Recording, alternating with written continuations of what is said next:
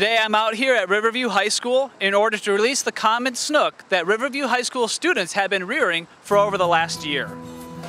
Our goal is to show the students how Mote's research is growing snook in aquaculture settings in order to release back into wild populations to keep those populations healthy and sustainable in the event of mass mortality events, such as from red tide or cold stuns. I wanted to be able to grow a species that was uh, native to Florida um, and kind of be part of the the solution and actually release back into the wild. So we basically take the snook when they're about an inch, they're a little fry. Um, we get usually 100 to 200 a year.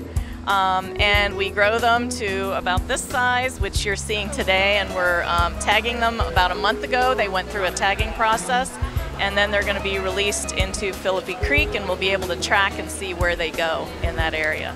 So for the last three years, Mote's been partnering with Riverview High School in order to rear common snook for releasing back into the environment.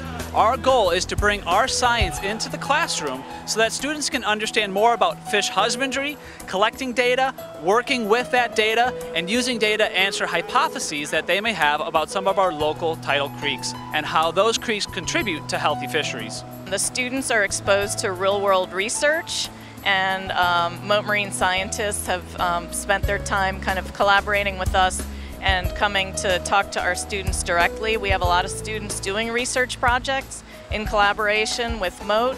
I'm taking the fish that were conditioned with the fake mangroves and I'm seeing what habitats they tend to frequent and then the fish that were not conditioned with anything and I'm seeing what habitats they tend to frequent. And so far I found that a lot more mangrove fish than control fish have remained at Riverview for long periods of time.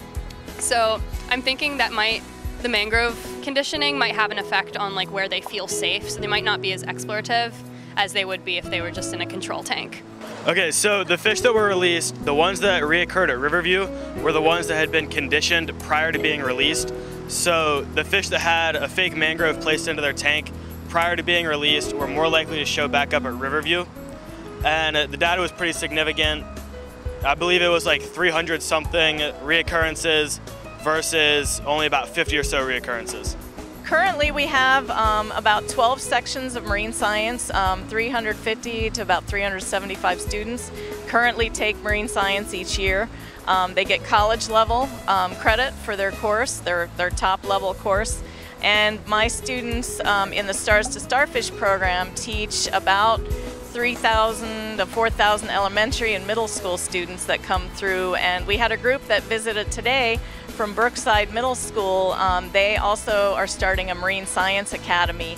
Um, and so is Philippi Shores Elementary, and they're uh, so we're going to have elementary, middle school, and then leading to high school, hopefully that come to Riverview and experience everything that's happening in their own backyard, and they're learning as much as as they would like to in terms of their natural environment.